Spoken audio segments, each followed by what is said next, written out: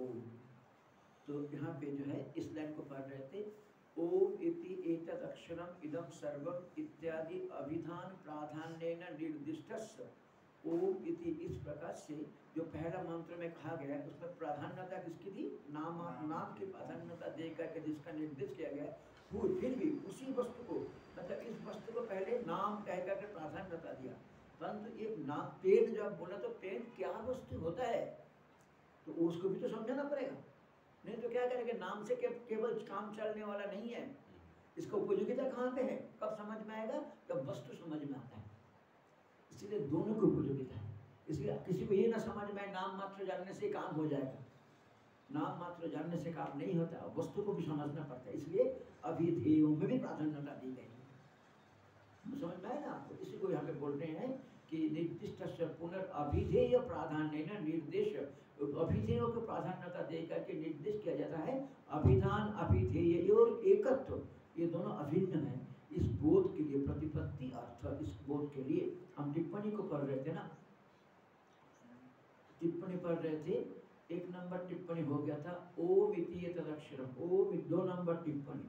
तत्र ही अभिधान, अभिधेयानाम, तत्र ही अभिधेयानाम, ओंकार, अभेद स्वस्व अभिधान अभेद द्वारक एव इति उक्तम इति भाव। तत्र मतलब पहले मंत्र में ही अभिधेयानाम जो वस्तु है, अभिधेय हो गया मतलब वस्तुओं का।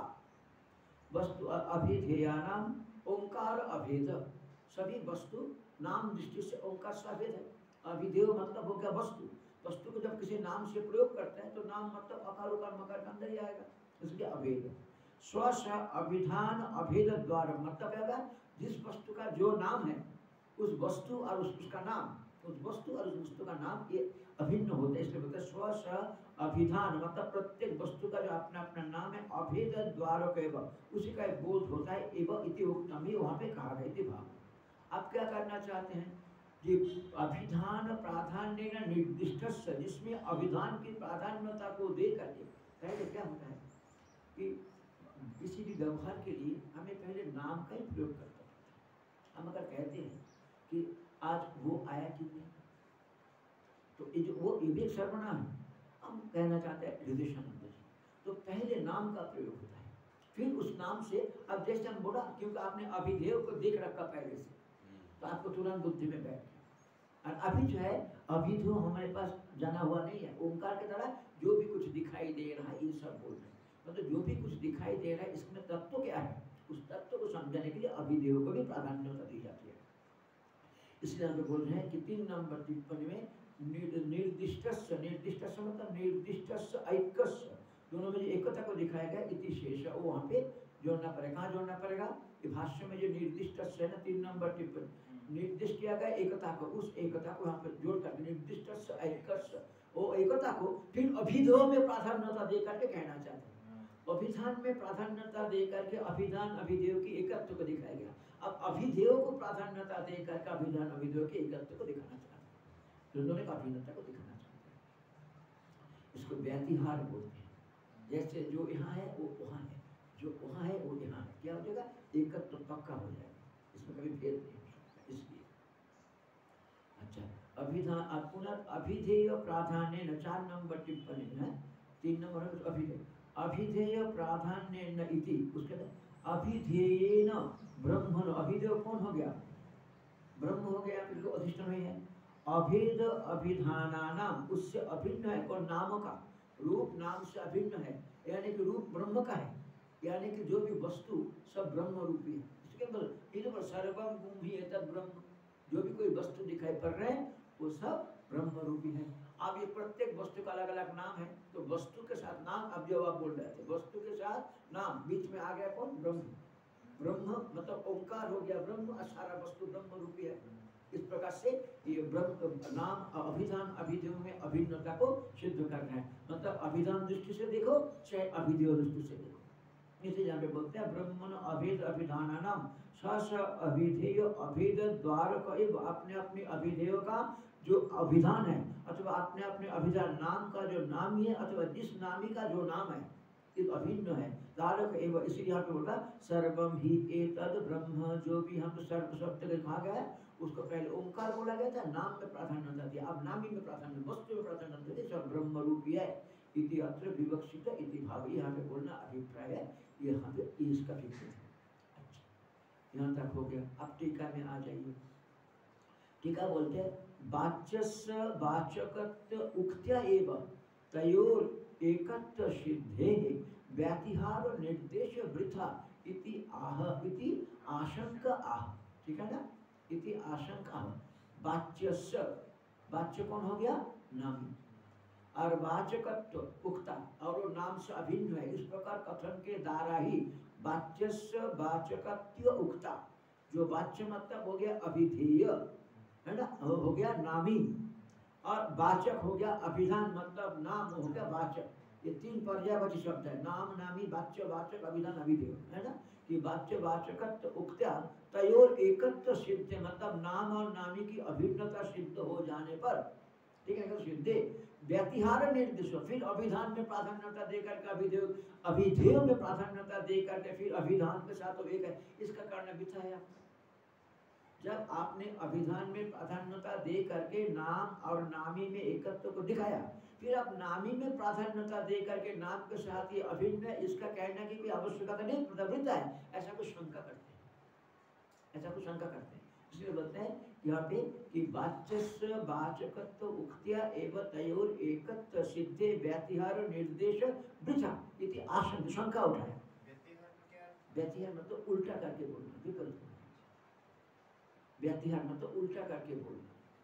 विपरीत रूपेण हरणम बी अति हरणम। ही धातु है हाँ, ही धातु से घय प्रत्यय करके हार हो जाता है। हाँ, हाँ, और फिर वहाँ पे बी और अति लगता है उपसर्ग लगता है व्यतिहार मतलब विपरीत रूप से हरण करना ग्रहण करना। हाँ, अच्छा, अर्थ शब्दों का एटोमोलॉजिकली देखेंगे ना अच्छा। आपको अर्थ बिल्कुल स्पष्ट हो जाएगा। बी बी और अति उपसर्ग पूर्वक भी धातु से व्याख्या शब्द बना मतलब विपरीत रूप से हरण करना ग्रहण करना। निर्देश वृथा इति आशंका अह इतरथा। ये भाष्य में इतरथा यदि ऐसा नहीं कहेंगे तो हमारे मन में ऐसा शंका हो सकता है नाम की प्राधान्यता है नामी की उतना नहीं। कहीं हम बोले नामी की प्राधान्यता है, देखो जब नाम का उतना नहीं।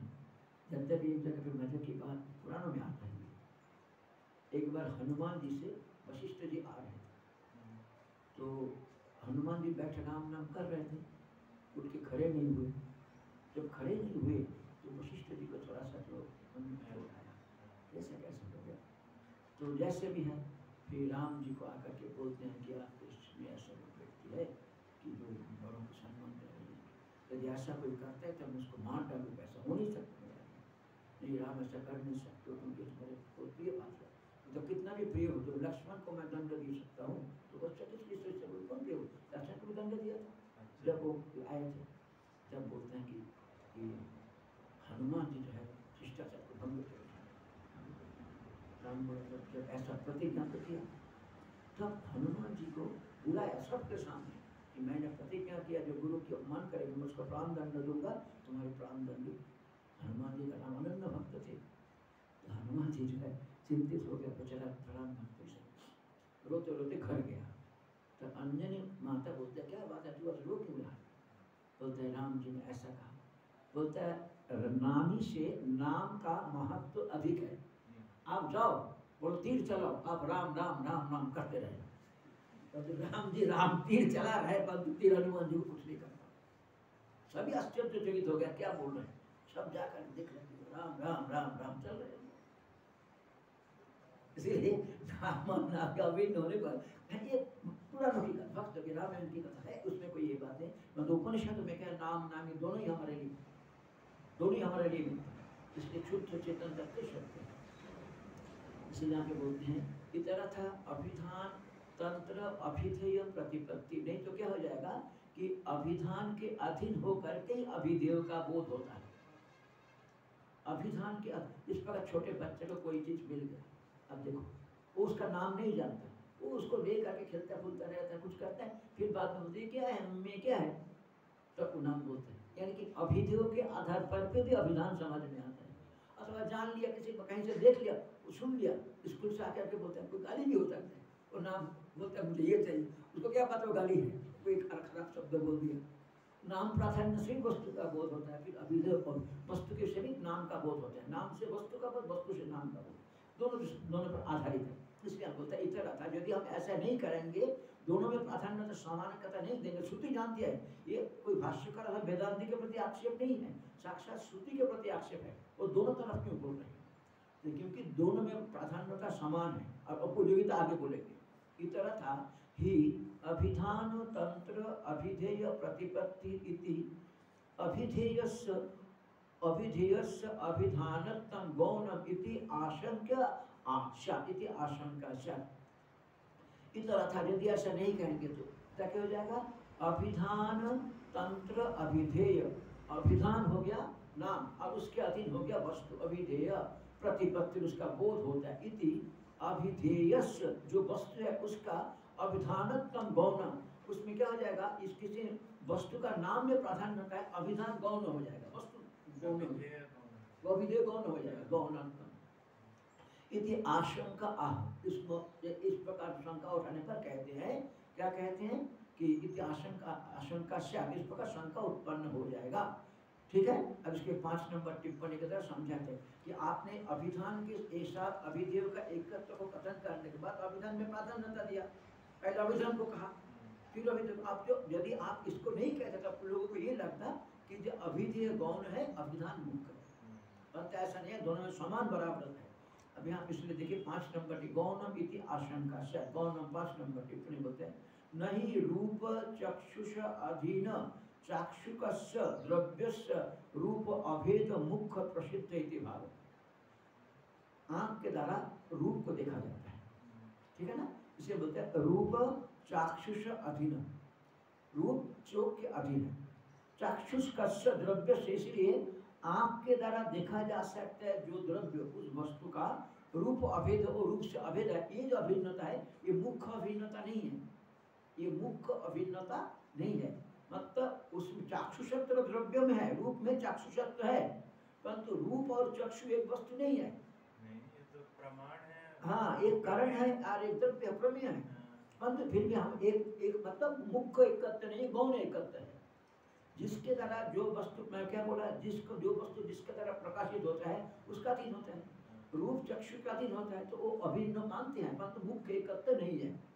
अब यहाँ पे मुख्य एकत्र दिखाना है। इसीलिए ये नाम और मुख्य इसीलिए बोलते हैं, दोनों तरफ़ बोला गया है। इसलिए नहीं रूप चक्षुष अधीन चक्षु का द्रव्य आँख के द्वारा देखा जा सकता है, जो द्रव्य उसका रूप, अभेद रूप के साथ उसका अभिन्नता मुख्य है। ऐसा नहीं कहा जा सकता। है ना? पहले है, न प्रसिद्ध की भाव अब दूसरा दृष्टांत देकर के समझाना है। नहीं बा अथवा एक दूसरा दृष्टांत, सुख, इच्छा, अधीन, इच्छा विशेष धनादि सुख प्राप्ति के लिए इच्छा किसका करते हैं? धन का। सुख प्राप्ति की इच्छा से लोग धन इकट्ठा करते हैं। तो धन और सुख एक है क्या? नहीं है। इसीलिए बोलते हैं यहाँ पे कि नहीं, सुख, इच्छा, अधीन। इच्छा, सुख, इच्छा के अधीन होकर के इच्छा का विषय बनता है धन। ठीक है ना धनादि मुख्य सुखत्व मतलब उसमें मुख्य सुखत्व नहीं है। गौण सुखत्व है। धन मिलने समय सुख होता है, क्योंकि मुझे अपना अभिष्ट वस्तु मिल जाएगा। इसलिए वहाँ पे गौण सुखत्व है। मुख्य सुखत्व नहीं है। समझ में आया? दृष्टांत बहुत अच्छा दृष्टांत की समझे इस प्रकार अभिधान अभिधेय में रूप और चाक्षुष गौण एकत्र मुख्य एकत्र नहीं है।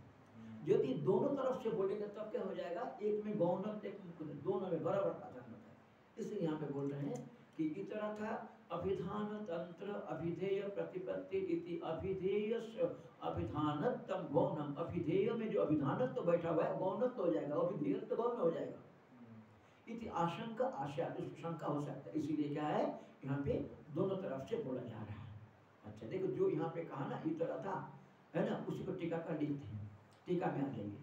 वाच्येन वाचकस्य ऐक्यम अनुक्त्वा वाचकेन एव वाच्यस्य ऐक्यवचने सति उपाय उपेय प्रयुक्तम एकत्वम न मुखम ऐक्यम इति आशंकित देखिए क्या शंका होगा क्या बोल रहे हैं यहाँ पे? वाच्य न वाच्य मतलब क्या हो जाएगा? वाच्य के द्वारा वाच्य मतलब हो गया? अभिधेय हाँ अभिधेय ना नामी के द्वारा। वाचक ऐक्यम अनुक्ता यदि इसको नहीं कहता नामी के साथ नाम का अभिन्नता, नामी में प्राधान्यता दे करके यदि ऐसा नहीं करता इतम अनुक्ता केवल मात्र वाचक ऐक्य वचन नाम के साथ नामी का एकत्र का इतना मात्र कथन करने से, वचन से थी उपाय उपेय प्रयुक्तम एकत्तम तो क्या हो जाएगा? उपाय उपेय प्रयुक्त एकत्तम ये इज़ वेरी इंपॉर्टेंट एक हो गया उपाय, एक हो गया उपेय। उपाय और उपेय। उपाय मतलब मीन्स और उपेय मीन्स द गोल तो जिस उपाय हो गया माध्यम और उपेय हो गया गोल आप भगवत प्राप्ति करना चाहते हैं तो आपका उपाय क्या होगा? साधन कहाँ से प्राप्त करेंगे? शास्त्र शास्त्र कौन पढ़ाएगा? यानी कि भगवत प्राप्ति के लिए आपको गुरु चाहिए। ठीक है ना? तो गुरु हो गया उपाय। और भगवान हो गया उपेय। अब हम गुरु उपाय उपेय में हमारी दृष्टि से समय भिन्नता है। पारमार्थिक दृष्टि से अभिन्न है मतलब हमारी दृष्टि से यहाँ पे भिन्नता है। और ये मान्यता पहले देना है। ये आप उपाय और उपेय, क्या बोले यहाँ पे देखो? उपाय, उपेय, प्रयुक्तम, एकत्तम। उपाय और उपेय के के द्वारा प्रेरित होता है जो एकत्व। आप देखिए, अब अब आया था आपका साधन मतलब जब अब क्या होगा? आप जब कर रहे हैं। जब करते समय आप दूसरा कुछ भी सुन रहे हैं, अथवा कोई कुछ बोल रहे सुन रहे करना क्या चाहिए था आपको? जब करते समय करते समय जो ये साधन है, ये उपाय है, जो उपेय है, उसका चिंता होना चाहिए। अगर नहीं करेंगे तो फलीभूत नहीं होगा। तो उपाय उपाय प्रयुक्त, एकत्तम। अच्छा तो ये दो दृष्टांत दिया थर्ड भगवान श्री कृष्ण भगवत गीता में बोलते हैं, एकम सांखम च योगम च जब पश्यति सपश्यति शंख और योग एक ही है। परंतु देखो जोग हो गया उपाय और सांख हो गया उपेय। वहाँ पे ना समुच्चय होता है, ना विकल्प होता है। इतना कई बार पढ़ लिया हमने। एकम सांखम च योगम च में एकत्व तो दिखा है वहाँ पे। परंतु एक वहाँ पे एक इस प्रकार, वहाँ पे जो एकत्व है, वो क्या हो गया उपाय और उपाय रूप एकत्व। ऐसा गौण प्रयोग करते हैं। मतलब कभी भी योग मतलब योग के द्वारा मतलब योग हो गया कर्म योग। निष्काम कर्म के द्वारा आप कहाँ पहुँचते हैं। ज्ञान निष्ठा है। तो शांख हो गया ज्ञान निष्ठा और योग हो गया कर्म निष्ठा मतलब निष्काम कर्म निष्ठा, कर्म योग। परंतु एक दूसरे के लिए उपाय, उपयोग, भाव है। ठीक है ना? अब इसको समझ करके, अब एकत्व मन दोनों मिल करके एक फल देगा। ये दोनों यदि दोनों यदि अलग अलग करके एक फल देने में समर्थ होता तो विकल्प होता, और यदि एक साथ करना समर्थ होता तभी आप समुच्चय कर सकते वन होना संभव नहीं है। इसमें अलग करके करना है। ठीक, यहाँ भी यहाँ उपाय और उपेय को ठीक से अलग करके समझना है। जब ये कभी नाम बनता है, उपाय नाम ही होता है, उपेय। कभी नाम ही होता है, उपाय नाम होता है, उपेय। जिस समय आपको जो पहले मिल जाता है, परंतु एकत्व को बोध कर दोनों में समान बराबर आता है। दोनों में प्राधान्यता बराबर है। इसलिए हमें बोलते हैं कि सती उपाय उपय प्रयुक्तम एकत्तम ठीक है ना? उपाय उपयोग प्रयुक्त एकत्व होगा, मुख्य एकत्व नहीं सिद्ध हो पाएगा। उपाय उपयोग प्रयुक्त एकत्व मतलब इसके बाद ही, इसके बाद ये करके फिर एक जगह पहुँचेंगे। मतलब नाम और नामी अभिन्न है, वो मुख्य एक वस्तु है, ये नहीं सिद्ध हो पाएगा। इसीलिए अभिध्योग में भी प्राधान्यता दी गई। इसलिए- हाँ, अभिध्योग में भी प्राधान्यता दी। एक इसका अर्थ कर रहा टीकाकार वो जो इतरा था ही अभिधान तंत्र अभिधेय प्रतिपत्ति रीति नहीं तो क्या हो जाएगा? नाम के अधीन होकर के नामी का बोध होता है केवल इतना ही मात्र लगेगा आपको। परंतु ये नहीं है। कभी वस्तु से नाम का बोध होता है कभी नाम से वस्तु का बोध होता है। हैं? इसलिए आप बोल रहे हैं कि वाच्येन वाचकस्य ऐक्यम अनुक्ता मतलब नामी के साथ नाम का अभिन्नता को नहीं कह करके केवल वाचके एवं एकत्र नाम नाम के साथ नामी का एकत्र ऐसा कथन करने पर वचन सती सती सप्तमी। उपाय, उपेय, प्रयुक्तम एकत्तम तो क्या हो जाएगा? उपाय, उपेय से प्राप्त होता है जो एकत्व उपाय, उपेय से प्राप्त होता है जो एकत्व उपाय हो गया जब और उसके साथ हो गया उपेय हो गया परमात्मा। इसलिए दोनों एक ही है। इस प्रकार के एकत्व प्राप्त होता है। जब और परमात्मा एक नहीं है। परंतु जिस गुरु और परमात्मा एक नहीं है, परंतु आप उसको, आपको अपरेंटली एक ही लगेगा। हाँ है स्टेज में तो गुरु बात अलग है, परंतु यहाँ पर साधन अवस्था में बोला जा रहा है। इसलिए हमें मतलब उपाय उपय पर एकत्तम न मुख्य एकम वहाँ पर मुख्य एकत्र सिद्ध नहीं हो ही पाए हो पाएगा इति आशंका तो ऐसा समान में शंका उठा करके कहते हैं। तो निवृत्ति अर्थम इस शंका को निराकरण करने के लिए व्यतिहार वचनम अर्थवत इसलिए उल्टा करके कहना भी युक्ति संगत युक्ति हो। है। ये उपाय उपय प्रयुक्त एकत्र क्या होता है? जिस प्रकार उपाय उपयुक्त के द्वारा क्योंकि एक अंश क्या बोला? एकम शंखम च, योगम च, या पश्यति यह तो स्पष्ट समझ में आता है कि उपाय उपय प्रयुक्त एकत्र क्या है। उपाय उपय प्रयुक्त एकत्र क्या है? जिस प्रकार गुरु और मंत्र, है ना? गुरु हो गया, उपाय मंत्र हो गया, उपय उससे जो एकत्र क्या होगा इष्ट दर्शन समझा है ना तो ये उपाय उपय प्रयुक्त एकत्र भिन्न होते हुए भी, ऐसा होगा। मतलब यहाँ पे ऐसा नहीं है। यहाँ पे ऐसा नहीं है। नाम और नाम ओंकार और ब्रह्म बिल्कुल अभिन्न कर देखो, इसलिए इसलिए सती उपाय उपय प्रयुक्तम, एकत्तम न मुखम ऐक्तम आशंकित। तन्निवृत्ति अर्थम इसको निराकरण करने के लिए व्यतिहार वचनम इस प्रकार विपरीत करके बोलना अर्थशाली हो जाता अर्थवत इति अर्थ। परस्पर अभेद उपदेशा, अभिधान, अभिधेय। अब इसका फल को दिखाना चाहते हैं। इनको हमें कब सफलम ना, इसका फल, एक दोनों में इस प्रकार अभिन्न से क्या लाभ होगा? परस्पर अभेद उपदेश एक दूसरे से संपूर्ण अभिन्न होने के कारण उपदेश होने से अभिधान अभिधेय अभिनाम और नामी इन दोनों का एकत्व प्रतिपत्ति अस्तु। दोनों का एक ही वस्तु है, ऐसा बोध हो जाए। साथ ही विफल, वो भी विफल हो जाएगा। ब्रह्म प्रति अनुपयोगिता वो उससे तो ब्रह्म का तो बोध नहीं होगा। ये पेन है, इसका नाम और इसका रूप उपयोगिता ध्यान इससे कैसे होगा? इसका तो ब्रह्म उपयोगिता ही नहीं है। बिल्कुल सामान्य व्यक्ति का प्रश्न है। बोलते आप नाम और नामी के एकत्व तो दिखा रहे ठीक है? ये पेन है, ये इसका विषय है। अथवा ये विषय इसको पेन नाम से कहा जाता है। फाइन इससे ब्रह्मबोध कैसे होगा? ब्रह्म प्रतिपत्ति का तो नहीं होगा। इसीलिए आप उसका क्या उपयोगिता है बताएँगे आप बताओ। इससे ब्रह्मबोध हो सकता है कि नहीं हो सकता? क्यों नहीं हो सकता है? ये नाम और नामी दोनों को सत्ता स्फूर्ति कौन प्रदान कर रहा है? हाँ इसको देखते हुए भी, इसका नाम और इसका रूप को देखते देखते इसको लय करते जाइए। आपको जब सच्चिदानंद स्पष्ट हो जाए। और इसका लय प्रक्रिया क्या है? कि वो जो पृथ्वी को जल में जल को तेज में तेज को वायु में वायु को आकाश में आकाश को सब में लय प्रक्रिया शांत रूप क्या हाँ, प्रपंच प्रविलय ये समझ में आ रहा है ये नाम और रूप इन दोनों प्रपंचों को इसलिए दिखाता है इसको विलय प्रक्रिया क्रम से सिखाना है। तो क्या हो जाएगा? ये नाम रूप एक साथ लय हो जाएगा। बचेगा कौन? सच्चिदानंद अधिष्ठान ठीक है ना? ये हमारे वेदांतिक सिद्धांत है। अब शंका उठा रहे हैं शंका कर रहे हैं, परस्पर अभेद उपदेशा नाम और नामी दोनों अभिन्न इस प्रकार के उपदेश अभिधान अभिधेय और एकत्व प्रतिपत्ति अस्तु, ठीक है? अभिधान अभिधेय दोनों अभिन्न है दोनों एक एक ही मान्यता वाले हैं, ठीक है? साथ ही विफला परंतु इतना बोध भी कोई काम का नहीं होगा। क्यों नहीं होगा? ब्रह्म प्रतिपत्ति अनुपयोगित्व ब्रह्म प्रतिपत्ति में उसका कोई उपयोगिता नहीं है। आपने तो इतना ही दिखाया। और नाभि का ब्रह्म प्रतिपत्ति का उपयोग है। शंका करने वाला बोल रहे हैं। इसको उत्तर हम देंगे। इसलिए बोलते हैं। यदि आशंका हो तब उत्तर है बोलते आप भाष्य में एकत्व। भाष्य में कहाँ देखेंगे एकत्व। एकत्व प्रतिपत्ति अभिधान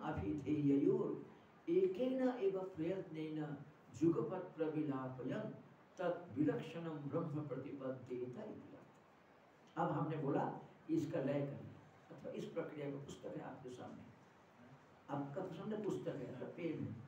आप लय करना शुरू करें आप एक को लय करना मतलब पुस्तक सामने रखा है लय करते हैं अब धीरे धीरे धीरे धीरे ये आपके सामने से पहले पुस्तक के ऊपर लिखा हुआ वस्तु हट जाएगा। शब्द चले जाएगा अब केवल एक सफ़ेद पेपर हो जाएगा। फिर ये सफ़ेद पेपर जो है विल बिकम ए वो पल्प। पल्प में आ जाएगा। फिर पृथ्वी में आ जाएगा जैसे लय प्रक्रिया धीरे धीरे धीरे धीरे आप आपके सामने से एक पुस्तक से शुरू करके माइंड वहाँ पे रख करके धीरे धीरे लय को अपनाते रहो। करते करते करते करते जब आप धीरे धीरे आकाश से भी सत तत्व तक पहुँच जाएँगे, तब बताओ कौन रहेगा? नाम अथवा रूप। दोनों ही रहेगा तो कौन रहेगा? उसको समझने वाला रहेगा। साभास चेतन, उसका समझने वाला रहेगा। लय हो जाएगा, परंतु लय को समझने वाला जो लय हुआ, इसको समझने वाला रहेगा बस यही इसका उपाय है। यही आत्मस्वरूप पुस्तक का उपाय है। आया समझ में? देखिए, भाष्यकार की स्टेटमेंट को कितना परफेक्ट ये साधन है वेदांति। सृष्टि का अनुपयोगिता नहीं है, सृष्टि की उपयोगिता यही है कि मन को वहाँ से धीरे धीरे धीरे धीरे लय करके, उठा करके कैसे आप अपने सच्चिदानंद स्वरूप में आ सकते हैं? देखो फ़र्स्ट लिख रहा है, एकत्व प्रतिपत्ति इस एकत्व प्रतिपत्ति का प्रयोजन प्रयोजन क्या है? अभिधान अभिधेयोर अभिधान और अभिधेय दोनों का एक ही न एवं प्रयत्न एक ही प्रयास के द्वारा। एक ही प्रयास के द्वारा। क्या हो जाएगा? जुगपत प्रविलापय, एक साथ उसको लय करते हुए। क्या हो जाएगा तब? तद विलक्षण, नाम रूप से विलक्षण, जिसके ऊपर नाम रूप कल्पित है, जिसके, इस नाम रूप के लक्षण के द्वारा जिसको लक्षित नहीं किया जा सकता, उससे विलक्षण है। उस विलक्षण ब्रह्म प्रतिपद्यते जब शुद्ध व्यापक ब्रह्म मतलब कोई नहीं ये इलेशन अयमात्मा ब्रह्म बोल रहे हैं अभी आगे। अपने आप ही क्योंकि आप समझिए इस चीज़ को। सर्व ये जो बोला सर्व भी एतद ब्रह्म मतलब क्या हो गया? जो भी वस्तु विषय देख रहा है अब क्या हो जाएगा? वो सब आपने लय कर लिया। लय करने के बाद अब लय करने के बाद क्या बचेगा? बोल रहे ब्रह्म मतलब सबसे अधिष्ठान। वो कौन है? ये लय करने वाला? वो मेरा स्वरूप है इसलिए अयमात्मा ब्रह्म प्रक्रिया समझ में आया आपको? कितना मतलब श्रुति वाक्य कितना मतलब नाम नामी का अभिन्नता को दिखा करके आप आप है कि भगवान भाष्यकार बोल रहे हैं। शब्द अर्थ करने मूल की अर्थ कहने से पहले ही श्रुति के अभिप्राय को कितना स्पष्ट करके समझा दिया। है ना? एकत्व प्रतिपत्तिश्च प्रयोजनम अभिधान अभिधेयोर एकेन एव प्रयत्न जुगपत प्रविलापयन। एक साथ तद विलक्षणम ब्रह्म प्रतिपद्धति ध्यान रखना है। ये सब जो है सारा वस्तु का लय हो जाता है परंतु लय करने वाले का लय नहीं। मतलब लय चिंतन उसका लय नहीं था, उसका विलक्षण है वो। यदि इसका भी लय है तो लय करने वाला समझ, कोई प्रमाण ही नहीं रहेगा। कभी प्रमाण नहीं हो, सिद्ध ही नहीं हो पाएगा। इसलिए अपना अस्तित्व कभी लय नहीं लय नहीं होता। सारा वस्तु को विचार पूर्वक हम लय कर सकते हैं, परंतु लय करने वाला कभी लय नहीं कर सकते हैं। है ना? ये लय करने वाला यही बचा है, ब्रह्म इसलिए उसको क्या बोलेगा? अयम आत्मा ब्रह्म। ये जो लय करने वाला अयम आत्मा ये अभिनय करके दिखा रहा है जो अयम आत्मा ना, बस यही सबका अधिष्ठान अयम आत्मा ठीक है ना? अब ये जो है, ये जो, ये मतलब नाम और नामी मतलब ये जो लय करने वाला और जो उस, जिसको लय कर रहे ये अभिन्न वस्तु होते हैं मतलब नाम नामी का नाम। लय करने वाला तो उसका भिन्न है। मात्रा और बाधा। ये जो हमारी जागृत, स्वप्न, सुषुप्त रूपी तीन पाद और ओंकार की मात्रा और उमा ये दोनों कोई भिन्न वस्तु नहीं है। क्या हो गया? ओंकार हो गया नाम। ठीक है ना? और अवस्था हो गया नामी। अब देखिए ओंकार में औकार आता है औकार फ़र्स्ट औकार मतलब अतीत आगे बोलेंगे। औकार से क्या कहना चाहते हैं? अतीत। अतीत। मतलब अ मतलब क्या होता है? नेगेटिव पार्टिकल अ मतलब नहीं। करेक्ट ना? अ मतलब था। ठीक है ना? आप नहीं है। आप नहीं है को समझाने के लिए हम अ की प्रयोग करते हैं। इसीलिए पाणिनि जी ने अथवा व्याकरण में देखना, अट आगम होता है। लंग लिंग लुंग अट उदा। पास्ट टेंस को समझाने के लिए अट आगम आता है। ये पहले से अपने यहाँ व्यवहार हो रहा है। वे अद्भुत लगा ये चीज़ हमको सोच करके कैसे अकार, उकार, मकार में जो अकार पहले है, अकार पास्ट टेंस का बोधक होता है, ओंकार तो कितना पहले है। और पाणिनि जी को ऐसा कैसे स्फूरित हुआ? ननाद ढंकम नव पंच भारत ये कैसे स्फुरित या देखो कि ये जो आकार उकार मकार के जो ओंकार की आकार है वो क्या है? पास्ट का डिनोट करते हैं। ऐसा पढ़ने जी ने कहा है। हाँ, सूत्र है। लंगली लुक्सवाट उदात्त। पाणिनि जी ये नहीं कहा कि ओंकार का आकार है। पाणिनि जी वो नहीं कहा। अच्छा अच्छा। पाणिनि जी ने इतना ही कहा पास्ट को डिनोट करने के लिए आकार और लगा। आपने किया? हाँ, जब पास्ट टेंस करने लंग लकार में। अगच्छत हाँ, हाँ, अमन्यता। हाँ, ये कहाँ से? पास्ट का डोनेट करते हैं मतलब जो प्रेजेंट में नहीं है। उस समय ऐसा प्रयोग होता था पहले पहले ये प्रयोग था भाषा पहले है। भाषा पहले। ऐसे व्यवहार मतलब वर्तमान में नहीं है उसको समझाने के लिए अ नहीं है। माने सूत्र ये जो मैं कभी सोच रहा था कि नना तो ढंकम नम पंच बार इससे पानी जी को कैसे पता लगा? तो आप देखिए सूक्ष्म ध्रुव है ये कैसे कैसे समझ में आता है कि इससे जो है आकार का क्या प्रयोग किया गया है? तो यहाँ पर ये पादा शब्द का क्या ये पाद मतलब जीव की जो पाद है ना जागृत स्वप्न अथवा ये जो मैं बोला पाद मतलब ये कहाँ पे आप वहाँ पे मत जाना। आप क्या पास्ट प्रेजेंट एंड फ्यूचर ये पाद। ये पाद। पास्ट प्रेजेंट एंड फ्यूचर जब जब आप ये त्रिकाल और त्रिकाल अतीत हाँ, तीन काल के अंतोपाती है पाद और मात्रा। पाद और मात्रा बहुत सूक्ष्म चीज़ है यहाँ पे पाद और मात्रा तीन काल का अंतोपाती है। इससे विलक्षण काल अतीत है। हाँ, ये पहले ओंकार से पहला मंत्र आप उसी में खड़े रहिए वहीं पे खड़ा हो जाइए। हाँ, आगे तो पा- पाद में आता है आपका अतीत अ और प्रेजेंट उत्कर्ष होता है। पास से प्रेजेंट के कुछ अमल वर्तमान भी होता है इसलिए उत्कर्ष इसलिए उ उत्कृष्ट है अपने आप बोलेंगे श्रुति यहाँ पे। और म मतलब क्या होता है? लिप बंद करते हैं सुषुप्ति अवस्था। मतलब फ्यूचर अभी नहीं है आगे होगा। अभी कुछ नहीं बोल रहा है। मैं बंद कर दिया अभी। मुँह बंद कर दिया। है ना? ये अ उ म मतलब पास्ट प्रेजेंट एंड फ्यूचर ये हो गया पार। और क्योंकि अष्टपाई मंत्र बोला त्रिकाल त्रिकाल और एक है त्रिकाल अतीत। ये काल के अंतपाती वस्तु को द्वारा इससे विलक्षण जो काल के अंतपाती नहीं है उसका बोध होता है। उस मात्रा का कोई पाद नहीं है ना चतुर्थ मात्रा ना उसका कोई पाद नहीं वो पाद नहीं हाँ, ये ठीक है ना इसलिए हमें बोलते हैं तथा च बक्षति इसको समझाने के लिए बोलेंगे पादा मात्रा मात्र से पादा। ये भगवत ये पाद मात्रा क्या लेंगे यहाँ पे? यहाँ पे समझना है जितना हमने पढ़ के आया। हम्म, उसके आधार पर लीजिए। आगे तो जीव की जागृत स्वप्न सुषुप्ति लेकर के बोलेंगे। जागृत स्वप्न सुषुप्ति को लेकर के बोलेंगे इसलिए बोलते हैं तथा च बक्षति पादा मात्रा मात्र से पादा तथा अब बताइए इस चीज़ को कि जब तक आपके अंदर थोड़ा बहुत व्याकरण की इनिशियल स्टेज और थोड़ा व्यक्ति कैसे समझेंगे इस चीज़ को कि कैसे हमारा सारा चीज़ जुड़ा हुआ है? कैसे सारा चीज़ लिंक है? कैसे समझेंगे? ये पादा माता ये कहाँ आया आठवां मंत्र देखो। इसी में आठवां इसी में आएगा हाँ एट्थ मंत्र इसी में आठवां मंत्र देखो। लिख के क्योंकि आगे भी आपको अपने आप जब पढ़ेंगे ना आपको ढूँढने में समय ना जाए। एट्थ मंत्र को देखिए इसका। Sixty four page sixty four ठीक है? एट्थ मंत्र को देखिए। अच्छा हाँ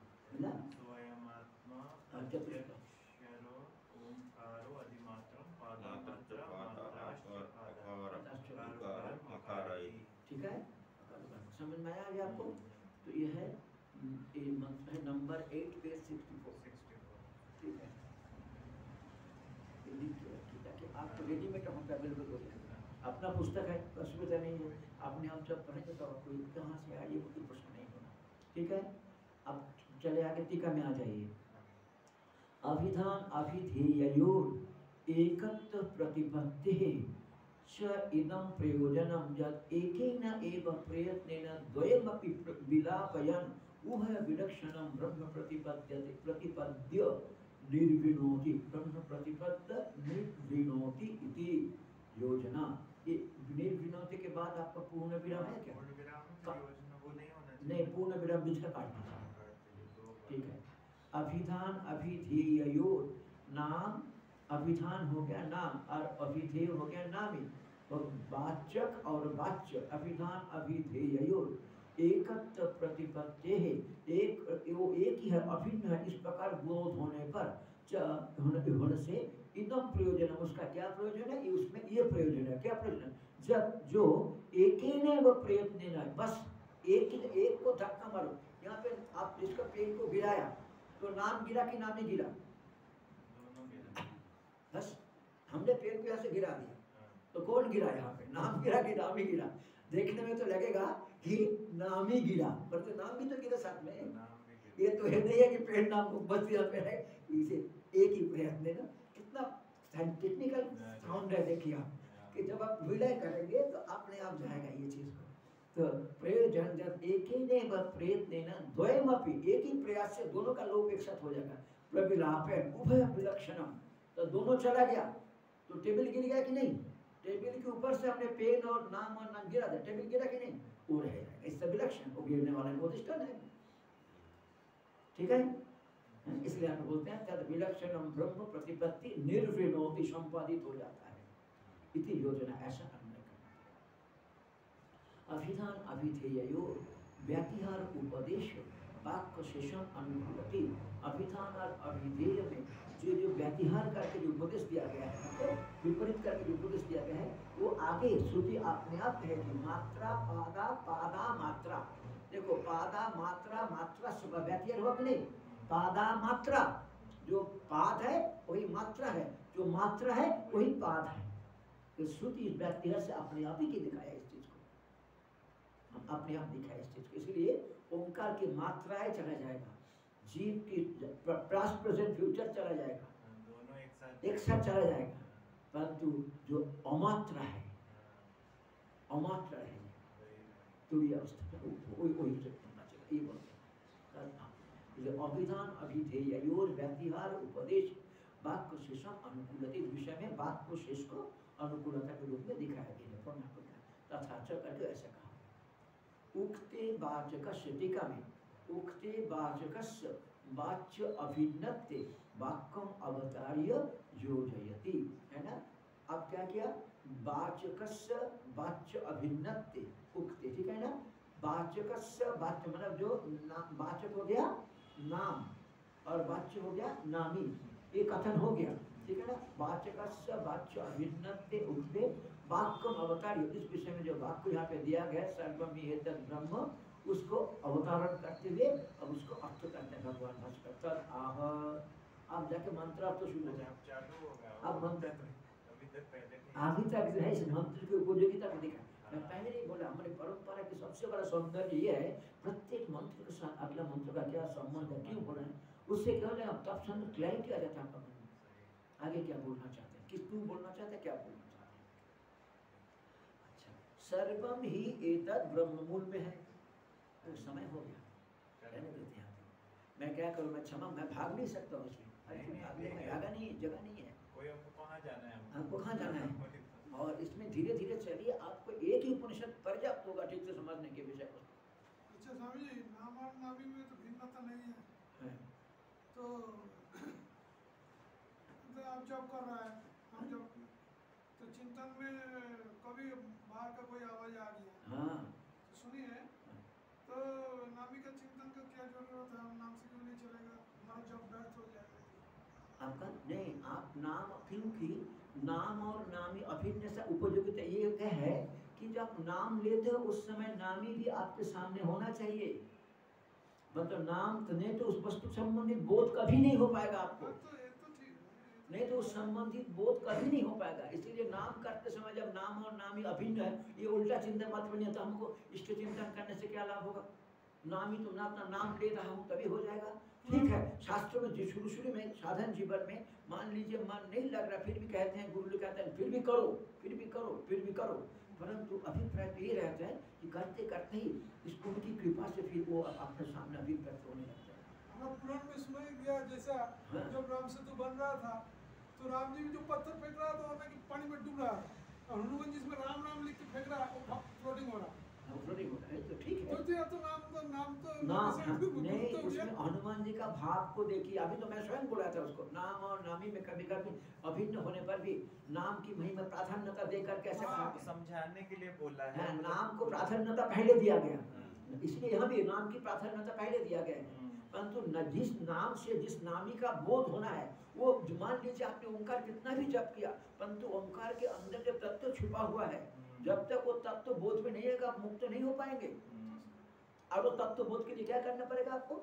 चाहे आप राम नाम जाप करो चाहे कृष्ण नाम जाप करो चाहे शिव नाम जाप करो कुछ भी करो तो नाम तत्व क्या है कृष्ण तत्व क्या शिव तत्व क्या यदि ये बोध नहीं होगा तो कैसे आपको मुक्ति होगी नहीं, एकत्व कैसे होगा भगवान से?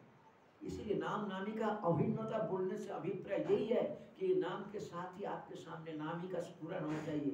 मैं गाय बोला, आपके सामने गाय नहीं है, परंतु तो गाय का रूप मन का स्फुरन होता है। नहीं तो समझ भी नहीं आएगा। ये अभिप्राय है, ठीक है। ओम ना ये कहना पड़ेगा लास्ट में वहाँ पे जो बोला है भाषा प्रतिहति मगमत स्वांत मोहांधकारो मज्ज उन्मज्ज च घोर ही अशक्ति, उपजन उदनवती त्रासने में। यत्पादवाष्टिकानां श्रुतिसमविनय प्राप्तिरग्राह्यमोघा तत्पादौ पावनीयं, भवभयविनुदौ सर्वभावैर्नमस्ये